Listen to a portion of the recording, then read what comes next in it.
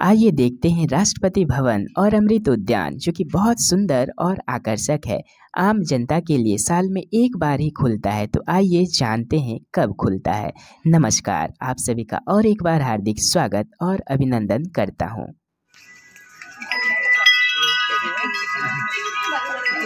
इस उद्यान के अंदर ऐसे कई प्रमुख आकर्षण केंद्र हैं। वृत्ताकार फव्वारे हैं सुंदर सुंदर गार्डन है, जो कि आपके मन को हर लेगा। आइए जानते हैं पूरी जानकारी के साथ इस वीडियो को देखते हैं। राष्ट्रपति भवन में स्थित अमृत उद्यान का परिभ्रमण करते हैं। बाल बाटिका बाल वाटिका की सबसे बड़ी खासियत ये है कि यहाँ पे जो शीशम के पेड़ आपको देखने को मिल रहे हैं, इसकी कहानी बहुत है पुरानी, क्योंकि ये शीशम के पेड़ 225 साल पुराने हैं और आपके मन में एक सवाल होगा कि यहाँ पे सिर्फ़ स्कूल और कॉलेज के स्टूडेंट ही क्यों दिखाई दे रहे हैं? क्योंकि एजुकेशनल टूर पर आए हुए हैं, चाहे वो बच्चे हो, चाहे यूनिवर्सिटी और कॉलेज के स्टूडेंट हो। एजुकेशनल टूर के लिए ये बहुत अच्छी, शानदार और जानकार जगह में से एक माना जाता है। राष्ट्रपति भवन में स्थित अमृत उद्यान में बहुत सुंदर सुंदर फूल भी खिले हुए हैं और चारों ओर पेड़ पौधे लगे हुए हैं। हमेशा हरियाली रहती है और यही हरियाली के कारण अमृत उद्यान राष्ट्रपति भवन की शोभा को और बढ़ा रहा है। इस उद्यान में ऐसे कई तरह के फूल लगे हुए हैं, जिन फूल को हम बाहर नहीं देख पाएँगे, इस अमृत उद्यान में देख पाएँगे।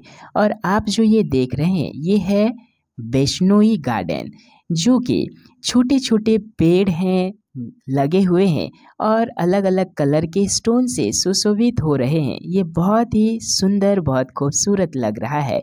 आप यहाँ पर आएँगे तो पिक्चर लेने से, सेल्फी लेने से अपने आप को रोक नहीं पाएँगे। ऐसे फव्वारे, वृत्ताकार गार्डन, जो कि बहुत मनमोहक, बहुत ही आकर्षक माना जाता है। ये प्रमुख केंद्र में से एक है। यहाँ पे लोग सेल्फी, पिक्चर्स भी लेते हैं और यहाँ पे यानी कि सुरक्षा कर्मी भी हमेशा तैनात रहते हैं, क्योंकि यहाँ पे पेड़, पौधे, पत्ते और फूल को तोड़ना सख्त मना है। क्योंकि यहाँ पे बहुत ही अच्छी तरीके से उन फूल, पेड़ पौधे का देखभाल किया जाता है। यही कारण है कि ये परिवेश इतना सुंदर, इतना आकर्षक, इतना मनमोहक है। पहले इस उद्यान का नाम था मुगल गार्डन, क्योंकि मुगलों के शासनकाल में ये उद्यान बनाया गया था। सर एडवर्ड लुटियंस ने इस गार्डन को ऐसे निर्मित करवाया था, जिसमें ब्रिटिश और इस्लामी दोनों विरासत की झलक देखने को मिले। अमृत उद्यान में ऐसे कई तरह के फूल देखने को मिलते हैं। यहाँ गुलाब के ही तकरीबन 138 प्रजातियाँ मौजूद है और इसके अलावा दस हज़ार से ज़्यादा ट्यूलिप और सत्तर से ज़्यादा सीज़न फूल हैं। इस अमृत उद्यान को देखने भारत के कोने कोने से ही नहीं, बल्कि विदेश से भी पर्यटक आते हैं। यह उद्यान इतना ज़्यादा खूबसूरत है कि सर ल्यूटियंस की पत्नी ने इस गार्डन को स्वर्ग कहा था। साल 1911 में अंग्रेज़ों ने कलकत्ता बदलकर जब अपनी राजधानी दिल्ली शिफ्ट की थी तो वायसराय के रहने के लिए दिल्ली में रायसीना की पहाड़ियों को काटकर वायसराय हाउस बनाया गया था, जो वर्तमान में राष्ट्रपति भवन के नाम से जाना जाता है। वायसराय हाउस में साल 1917 में सर ल्यूटियंस ने अमृत उद्यान का डिज़ाइन किया और साल 1928-29 में बागवानी का काम अर्थात इस उद्यान का काम शुरू हो गया था। तभी आज हमको ये देखने को मिल रहा है। ये बहुत सुंदर, बहुत आकर्षक, बहुत मनमोहक यहाँ पे जो भी पर्यटक आते हैं, बहुत ही आनंदित हो जाते हैं। यहाँ का दृश्य ही कुछ ऐसा है। मनमोहक है, मन को हरने वाला है, लुभावने वाला है। हमारे साथ विदेशी अतिथिगण भी, विदेशी मित्र भी आए हुए थे। हम देसी और विदेशी दोनों प्रशिक्षणार्थी साथ आए हुए थे केंद्रीय हिंदी संस्थान आगरा से। हमें देखकर बहुत ही खुशी हुई, बहुत अच्छा लगा।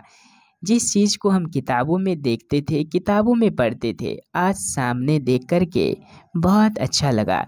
ये पल बहुत यादगार रहेगा। हम इस पल को नहीं भूल पाएँगे। आप भी कभी आइए और आप सभी के लिए बहुत ही सुनहरा मौका है, क्योंकि ये अगस्त 16 से लेकर के सितंबर 15 तक आप घूम सकते हैं। ये उद्यान, अमृत उद्यान खुला है।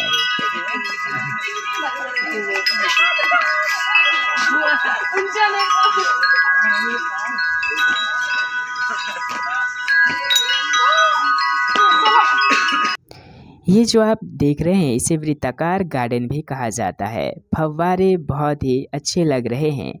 और ये जो आप देख रहे हैं, ये टेनिस कोर्ट हमारे राष्ट्रपति द्रौपदी मुर्मू जी के द्वारा इनग्रेट किया गया था। अब हम बाहर की ओर जा रहे हैं। यहाँ पे चारों ओर हरियाली रहती है, क्योंकि पेड़ पौधे से घिरा हुआ है। अब हम पहुँच गए, जहाँ पे चाय नाश्ता कुछ पानी। यहाँ पे बहुत प्राइस जो है, प्राइस हाई है। बहुत तरह तरह के रंग बिरंग के कुल्फ़ी, आइसक्रीम भी मिलते हैं, आप देख सकते हैं। ये आप मेन्यू देख सकते हैं। मैंने, momos, chaat, ice cream, quick bites, सभी तरह के आपको जो पसंद लगे खरीद सकते हैं। और हम लोग आइसक्रीम ख़रीदे। आइसक्रीम खाए, बहुत अच्छा लगा। उसके साथ साथ कोल्ड ड्रिंक्स भी पिए। घूमने के बाद अब बाहर की ओर चले। हमारे साथ साथ स्कूल के बच्चे भी आपको दिखाई दे रहे होंगे और यहाँ पे तो सबसे अच्छी बात लगी पेड़ पौधे बहुत बड़े बड़े अब आए हम राष्ट्रपति भवन संग्रहालय के और जा रहे हैं। राष्ट्रपति भवन संग्रहालय। तो राष्ट्रपति भवन संग्रहालय के और एक वीडियो में आपको जानकारी ज़रूर दूँगा। हमारे जितने भी प्रशिक्षणार्थी थे साथीगण थे, सब एक साथ अभी हम राष्ट्रपति भवन संग्रहालय जाएँगे। राष्ट्रपति भवन संग्रहालय में भी बहुत सारी चीज़ें हैं जो कि आप वीडियो के माध्यम से देख सकते हैं। दोस्तों, अगर आप मेरे चैनल पर नए हैं तो सब्सक्राइब ज़रूर कर दीजिएगा। कैसा लगा कमेंट्स करके ज़रूर बताइएगा। धन्यवाद।